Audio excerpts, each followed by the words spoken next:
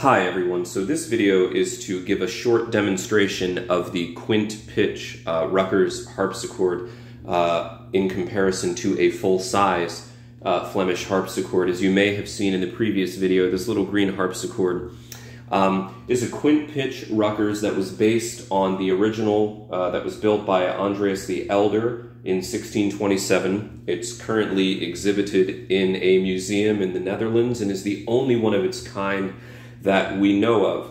Um, I first learned about this instrument from uh, Grant O'Brien's book, Ruckers, a Harpsichord and Virginal Building Tradition.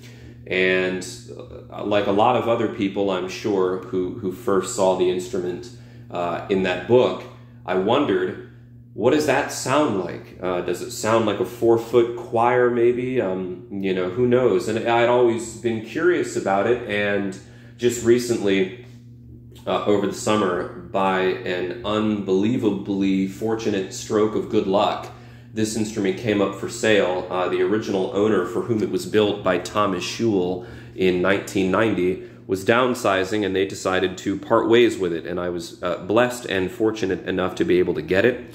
Uh, it was in immaculate condition, playing condition when I got it. Um, was built by a professional harpsichord maker um, no mechanical, structural problems whatsoever. This is the, I think, the second instrument that I have gotten in the last two years that all I've had to do is tune it and play it. No regulation, no, no anything. Didn't even have to replace any plectra. It was in great shape, and it's a beautiful instrument.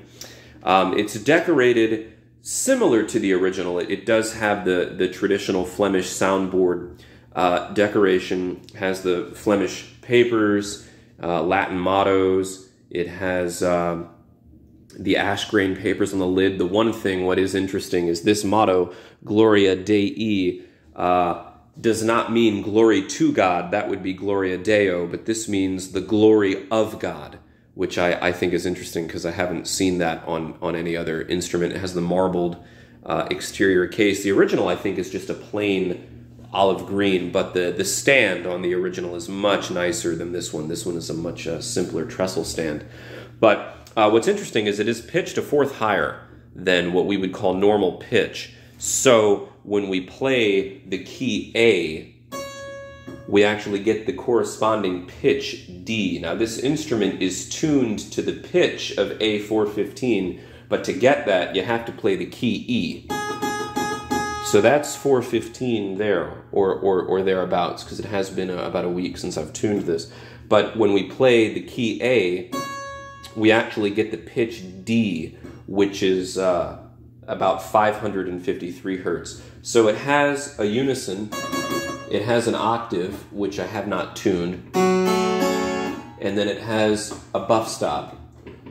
And to give a comparison of the way it sounds, uh, compared with a harpsichord at modern pitch. This is a Zuckerman concert Flemish single, uh, which is a very fine instrument, though it is not based on any exact uh, historic examples.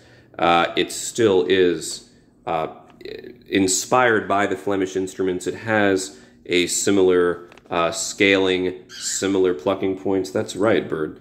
And um, gives a, a, a decidedly Flemish sound. And so I'm going to demonstrate the back, or excuse me, the front eight foot choir uh, on this instrument. Uh, play a few bars of the Couperin that I played on the, uh, the quint pitch, and then I'll play it again on the uh, smaller one. So this one is tuned to A406. It's not quite at 440 because I've just put the wire on this instrument uh, within the last, you know, six or eight weeks. So I'm giving it time to, to acclimate to this instrument before I bring it up fully to, to, to 415.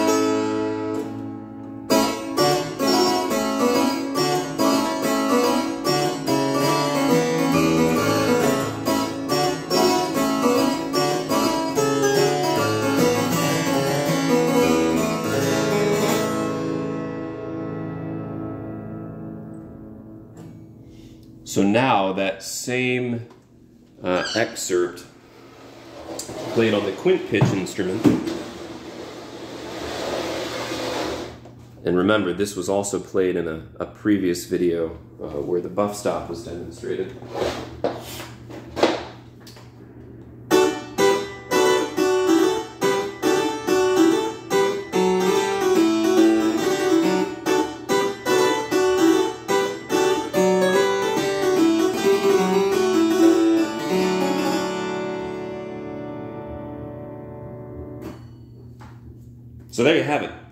Getting ready to put this one back in its shipping crate and uh, deliver it to uh, a harpsichord maker who I believe is going to, you know, study it, look it over, and maybe make a drawing of it. Uh, they themselves have a quint pitch instrument, uh, a virginal. So very, very compact, 48 inches long. Uh, the keyboard is the same size as the same octave span, I should say, as the other keyboards, although the key levers are a bit shorter. These appear to be some type of burl wood, and this is sapele. Um, what's surprising to me was I was I, I was amazed at how smooth the action is and how responsive. My initial thoughts were that the key levers were going to be very short and that I was going to have to fight to play uh, the instrument, but I, I didn't. Um, I, I have another instrument, or had another instrument, another video of that instrument. It was a Dolmetsch uh, jet spinet, very compact, very small. And that one had key levers that were so short and they were uh, very heavily counterbalanced with lead weights to the point where it was almost difficult to play ornaments. I had to really go in and tweak the, the height of the jacks and the voicing and get it just right to be able to play ornaments. But this one you don't. It, the, the key uh, board is very, very light and swift and responsive, and it feels no different uh, than the larger instrument. And by the way, this one here is a Zuckerman uh, Flemish Mark III, I believe, that does not play. It has no strings, and the action has been removed. So, um, yeah, tuned a fourth above what we would call normal pitch we know that the Ruckers family produced virginals in all different sizes and different uh, tunings. Uh, sometimes a third, a fourth, a fifth, and of course an octave higher uh, than what would be considered normal pitch. And it's interesting because many Renaissance instruments, of course, the viols and the recorders, but also sagbutts and cornets and shawms and rackets, they were uh, made at many different pitches, and we know that those instruments would play together in consort. Uh, William Byrd wrote beautiful music uh, for consorts of viols, but um, I know of no historic evidence that suggests that harpsichords of different sizes and shapes were played in consort with one another, with the exception of, you know, the mother and child virginal, which would be no different than an eight foot and four foot choir uh, on, on a harpsichord. So, who knows? Uh, what new evidence will come to light? Maybe these these instruments were more common uh, than we may we may know right now, and maybe they were played in concert with one another. But I I, I don't know of, of anything like that. Maybe somebody else does, and they can teach me something new. Uh, wouldn't be the first time that's happened. So, but uh, no, it's a beautiful instrument. I'm I'm very happy to have it. Uh, it is a novelty it, it, it certainly is, is, not what one would consider a typical harpsichord. Uh, to play with other instruments, of course, one would have to alter uh, the fingering and would have to transpose on the keyboard, excuse me.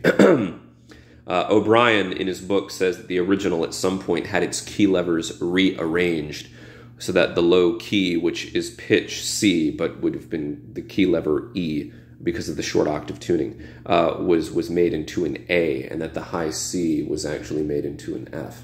So it can play with other instruments. But uh, case is gorgeous. Soundboard is is painted using uh, the same designs as the Zuckerman Flemish soundboard painting kit, which is what's on the large concert Flemish single.